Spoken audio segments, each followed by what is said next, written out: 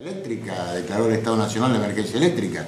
Y, por otro lado, uno de los tres votos, el del doctor Chipitelli, que entendemos como un voto más serio y más ajustado a la realidad de caso en particular, o de la, realidad en particular que se dio en Argentina entre el 10 de diciembre y el momento del aumento, o el momento del planteo que se hizo, lo entendemos mucho más ajustado a la realidad, y ese fallo es el que entiende de que hay que hacer una audiencia pública, pero no era indispensable la audiencia pública para hacer ese traslado que nosotros ineludible, ineludiblemente debemos hacerlo.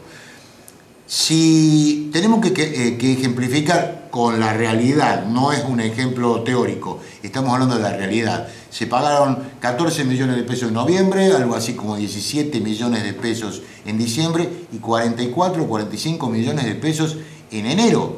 Ese fue el costo que estableció el mercado eléctrico mayorista, es decir, el costo que estableció la Secretaría de Energía.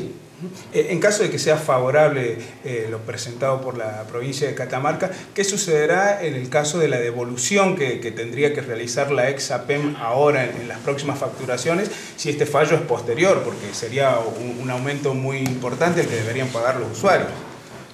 No, no es un aumento muy importante que tienen que pagar los usuarios. Los usuarios ya les, llega, ya les ha llegado facturación y en algunos casos no ha sido tan importante como se hablaba. El caso de, que, que, digo yo es el caso de que se, ya se produzca la devolución como plantea la Corte de Justicia de Catamarca y después se le vuelva a cobrar esto a los usuarios, o sea, lo que se le devolvió a las facturaciones siguientes. No quiero hacer ningún tipo de reflexión con respecto a lo que puede pasar, pero normalmente todo ese tipo de cuestiones se compensa mes a mes con eh, kilowatt o con dinero y no es algo que de golpe y en la primera factura se le vaya a cobrar a la gente.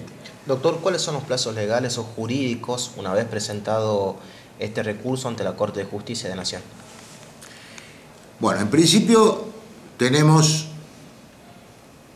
que la Corte tiene que decretar, la, tiene que dictar el primer decreto, a partir de allí va a, eh, se corre traslado, va al procurador para que termine la admisibilidad formal, es decir, si está conformado el escrito de acuerdo a la normativa que establece tanto la Corte Suprema de Justicia de la Nación como eh, la Corte de la provincia, porque hay que presentar alguna, de, de, tiene ciertos requisitos especiales.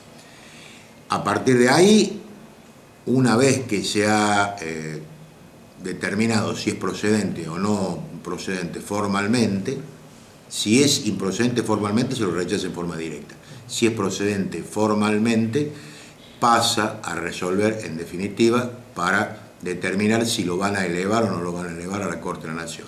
Una vez que lo elevan a la Corte de la Nación, la Corte de la Nación le tendrá que dar trámite y bueno, los plazos de la Corte de la Nación son diferentes. ¿Puede jugar en contra de la provincia que el ENRE ya haya dispuesto que se tiene que devolver lo cobrado de más en el VAT?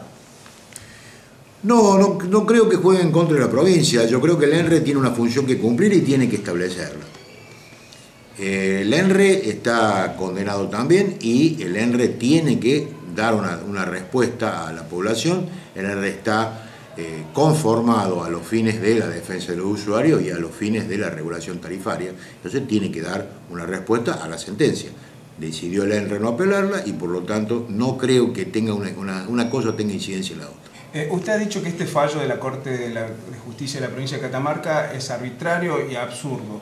Eh, ¿Por qué cree esto? ¿Tiene que ver con, también con estos cuestionamientos que se le realizan a la Corte de, pertenecer a, la oposición? Yo espero que no pertenezca a la oposición realmente, pero eh, la Corte no ha tomado en cuenta de que nos han aumentado el costo de la energía y no ha tomado en cuenta la disposición de una ley nacional. En definitiva, la Corte dejó sin efecto, sin tener la facultad, la resolución de la Secretaría de Energía de la Nación que fija un nuevo precio. Y falló fuera de lo que reclamaron los diputados. Los diputados manifestaron claramente que no se oponían al aumento es decir, al traslado del aumento de la tarifa de nación a provincia, que se oponían al VAD. El VAD es el valor agregado de distribución, es decir, el porcentaje muy menor, estamos hablando que en una factura más o menos eh, común, eh, entre 15 y 20 pesos. Entonces, eso está destinado al funcionamiento de la empresa. Podrían haberlo cuestionado o no, pero eso no, es, no hace al centro de la cuestión.